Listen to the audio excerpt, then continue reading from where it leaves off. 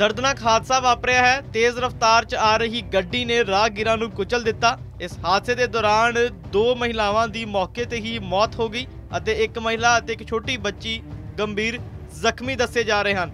ਮਿਲੀ ਜਾਣਕਾਰੀ ਦੇ ਮੁਤਾਬਕ ਸੜਕ ਤੇ ਆ ਰਹੀ ਤੇਜ਼ ਰਫ਼ਤਾਰ ਗੱਡੀ ਇਸ ਕਦਰ ਰਾਹਗੀਰਾਂ ਨੂੰ ਕੁਚਲਦੀ ਗਈ, ਜਿਸ ਤੋਂ ਬਾਅਦ ਮੌਕੇ ਤੇ ਹੀ ਜੋ ਗੱਡੀ ਹੈ, ਉਹ ਸੜਕ ਤੇ ਹੀ ਪਲਟ ਗਈ ਅਤੇ ਹਾਦਸੇ ਦੇ ਦੌਰਾਨ ਦੋ ਲੋਕਾਂ ਦੀ ਮੌਤ ਹੋ ਗਈ। ਤਾਂ ਖਬਰ ਗੁਰਦਾਸਪੁਰ ਤੋਂ ਸਾਹਮਣੇ ਆਈ ਹੈ, ਜਿੱਥੇ ਕਿ ਮਿਲੀ ਜਾਣਕਾਰੀ ਦੇ ਮੁਤਾਬਕ ਦੀਨਾਨਗਰ ਤੋਂ ਆ ਰਹੀ ਤੇਜ਼ ਰਫ਼ਤਾਰ ਵਰਨਾ ਗੱਡੀ ਬੇਕਾਬੂ ਹੋ ਗਈ, ਜਿਸ ਤੋਂ ਬਾਅਦ ਉਹ ਸਿੱਧਾ ਰਾਹਗੀਰਾਂ ਨੂੰ ਕੁਚਲਦੀ ਗਈ ਅਤੇ ਇਸ ਹਾਦਸੇ ਦੇ ਦੌਰਾਨ ਬੱਸ ਦਾ ਇੰਤਜ਼ਾਰ ਕਰ ਰਹੇ ਦੋ ਯਾਤਰੀਆਂ ਦੀ ਮੌਤ ਹੋਈ ਹੈ ਅਤੇ ਇੱਥੋਂ ਤੱਕ ਕਿ ਜੋ ਇੱਕ ਮਹਿਲਾ ਸਕੂਟਰੀ ਤੇ ਸਵਾਰ ਹੋ ਕੇ ਸੜਕ ਪਾਰ ਕਰ ਰਹੀ ਸੀ, ਉਹ ਵੀ ਇਸ ਹਾਦਸੇ ਦੇ ਦੌਰਾਨ ਸ਼ਿਕਾਰ ਹੋਈ ਹੈ।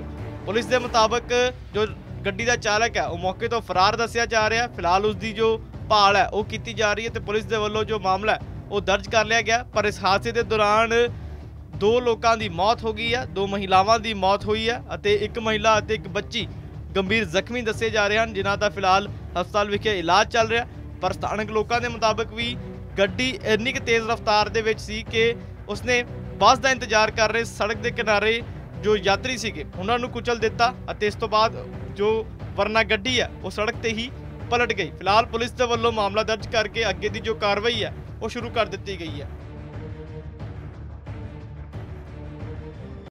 ਇਹ ਨਾ ਅੱਜ ਸਾਨੂੰ ਖਬਰ ਮਿਲੀ ਸੀ ਕਿ ਤੇ ਬਾਂਠਾ ਵਾਲੇ ਮੋੜ ਦੇ ਉੱਤੇ ਕੋਈ ਐਕਸੀਡੈਂਟ ਹੋਇਆ। ਅਸੀਂ ਮੌਕੇ ਤੇ ਗਏ ਉੱਥੇ। ਮੌਕੇ ਤੇ ਜਾ ਕੇ ਪਤਾ ਕੀਤਾ, ਇੱਕ ਨਾ ਕਰੇਟਾ ਗੱਡੀ ਜਿਹੜੀ ਨਾ, ਆਪਣੇ ਉਹਦਾ ਨੰਬਰ ਹੈਗਾ PB 35AJ 9000 ਇਹ ਦੀਨਾਨਗਰ ਸਾਈਡ ਤੋਂ ਬਹੁਤ ਤੇਜ਼ ਰਫ਼ਤਾਰ ਆ ਰਹੀ।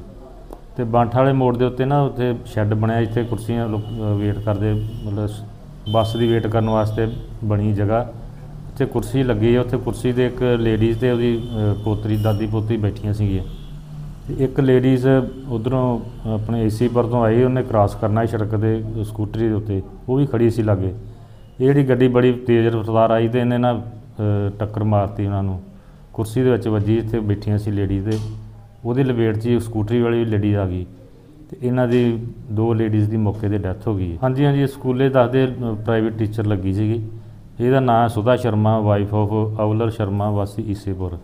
ਜਿਹੜੀ ਦੂਸਰੀ ਲੇਡੀ ਜਿਹੜੀ ਡੈਥ ਹੋਈ ਆ, ਉਹਦੀ ਨਾਮ ਕ੍ਰਿਸ਼ਨਾ ਕੁਮਾਰੀ ਵਾਈਫ ਆਫ ਸੋਹਣ ਸਿੰਘ, ਵਾਸੀ ਰਾਏਪੁਰ। ਤੇ ਇਹਦੇ ਨਾਲ ਜਿਹੜੀ ਪੋਤਰੀ ਛੋਟੀ ਲੜਕੀ ਸੀ, ਉਹਦਾ ਨਾਮ ਆਇਦਾ, ਪੁੱਤਰੀ ਲਖਵਿੰਦਰ ਸਿੰਘ, ਵਾਸੀ ਰਾਏਪੁਰ। ਜਿਹੜੀ ਇਹ ਲੜਕੀ ਛੋਟੀ ਹੈ ਇਹਦੇ ਸੱਟ ਕਾਫੀ ਲੱਗੀ ਇਹਨੂੰ ਹਸਪੀਟਲ ਦਾਖਲ ਕਰਵਾਇਆ ਗਿਆ। ਚਾਲਕ ਜਿਹੜਾ ਗੱਡੀ ਪਲਟ ਗਈ ਸੀਗੀ ਤੇ ਉਹ ਇਹਦੇ ਮੌਕੇ ਤੋਂ ਫਰਾਰ ਹੋ ਗਿਆ ਜਾਣ ਤੋਂ ਪਹਿਲਾਂ ਸੀ ਗੱਡੀ ਤੋਂ ਨਿਕਲ ਕੇ ਫਰਾਰ ਹੋ ਗਿਆ ਨਹੀਂ ਅਜੇ ਪਛਾਣ ਨਹੀਂ ਤਫਤੀਸ਼ ਚੱਲ ਰਹੀ ਹੈ ਬਾਕੀ ਜੋ ਕਾਰਵਾਈ ਅ, ਬਿਆਨ ਹੋਗਾ ਤੇ ਨਾਲ ਕਾਰਵਾਈ ਅਮਲ ਚ ਲਿਆਂਦੀ ਜਾਊਗੀ।